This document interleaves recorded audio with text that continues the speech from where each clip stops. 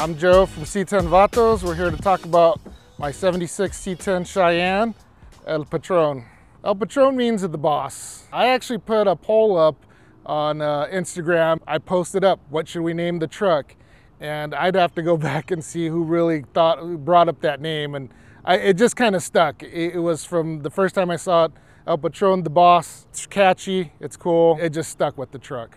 Uh, vehicle was purchased out of California. Looks solid in the pictures. It needed a little bit more work than we anticipated. First thing uh, when we got the truck was we assessed the whole situation and uh, figured out we wanted to lower it. We wanted a, a, lower, good riding truck. That's when we reached out to our friends at TCI Engineering, uh, contacted them about their new C10 suspension they had just come out with. It's a C10 Pro Touring bolt-on kit.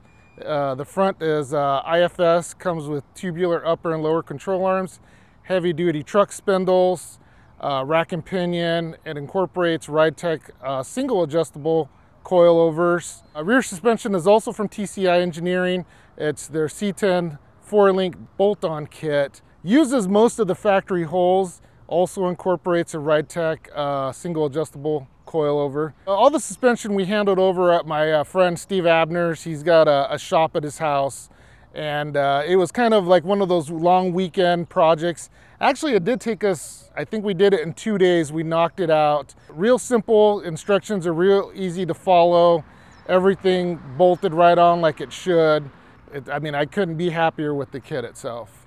It does come with brakes. We did opt to upgrade the brakes to a larger setup from AZ Pro Performance after the suspension, we decided to do, we wanted to pick a, a period correct looking wheel. We went with the American Racing VF 527s, 22 eight and a halfs in the front, 22 10 and a halfs in the rear. They roll on Toyo tires. The fronts are 265 35s and the rears are 285 35 22s. After we received the truck, we put about 25 30 miles on it and we developed a major issue with the engine.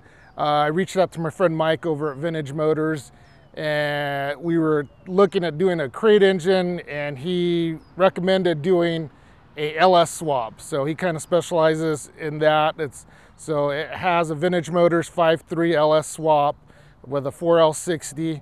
Mike went through it and just rebuilt it. It's, it's just a fresh, resealed everything. We wanted to keep it budget friendly. We did some Hedman headers, uh, running a painless harness, a cold air intake, uh, full exhaust obviously, and then Brad uh, did the tuning. We've put a couple thousand miles on the truck since it's been done and we really enjoyed it. We think it's honestly the best route to go. When we received the truck, the body had a little bit more rust than we really wanted. We didn't mind the patina, but we didn't want big holes. So I got a game plan going with Dan Hogan over at Hogie Shines. We had metal work done by Metal Ox Fab.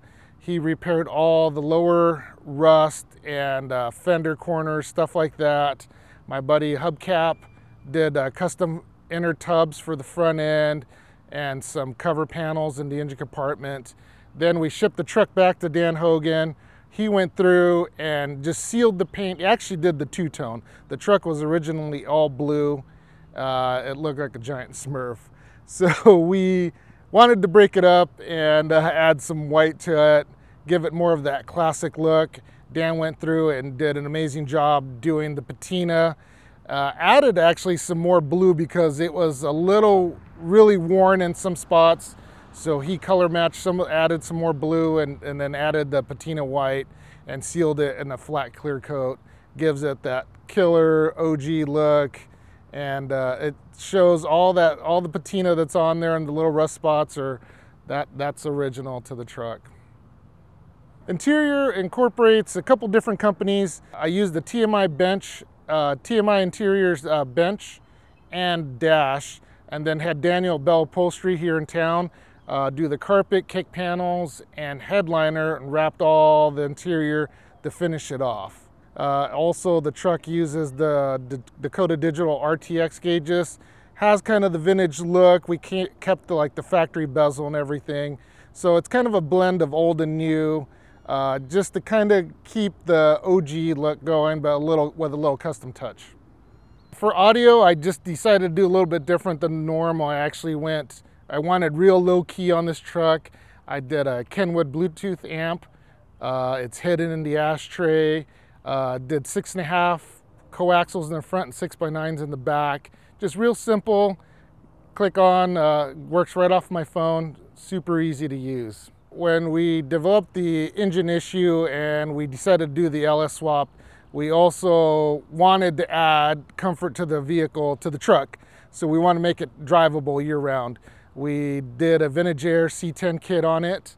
That incorporated with the All-American billet front drive system works perfect together. We also sealed, resealed the cab with precision replacement parts and added new glass from State 48. So right after paint and body, we wanted to add a couple custom touches to it. We uh, opted for a little bit of billet dress up. We did uh, Rad Machining, made us our custom fender plaques for with the truck's name El Patron, and also added little uh, knobs and stuff from All American Billet just to give it a little bit of a little shine to it. C10 Vatos, uh, it's something I started uh, 2015. Uh, I was at Dino's Get Down and I was looking at a banner they had and they had all the names of all the big brands out there. And I was sitting there talking to Dino and I told him, you know what you're missing? C10 Vatos. And he turns around, he was like so pumped about it. He goes, you need to do that. That's super catchy. It, it's great. People are gonna love it. And from that day on, I started that Instagram page that day. And it's just kind of taken off from there.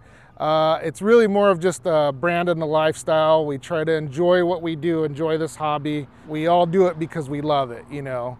It's, uh, trucks are always gonna be a part of my life whether I have a brand or not.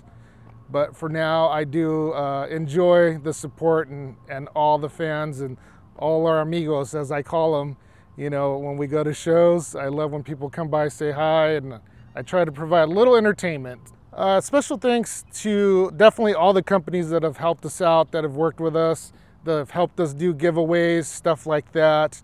Uh, definitely want to thank Grinder. Brian has been a big, big influence in uh, helping me build my brand. American Racing, TCI, Travis AZ Pro Performance, Hogie Shines, uh, Mike at Vintage Motors. Obviously, the truck wouldn't be where it's at without him. Uh, he's always been my fall two guy when I got a question. Uh, Brad he helps me with all my technical questions, State 48. Future plans, um, man, we're gonna drive it for now, possibly maybe upgrade the engine now that we've kind of gotten a couple LS swaps uh, that we've done, uh, I definitely want to bump up the horsepower a little bit. We have another project we're working on now that is going to be the next level up. So uh, we don't want to let El Patron fall behind. So who knows, maybe a supercharger or something down the road.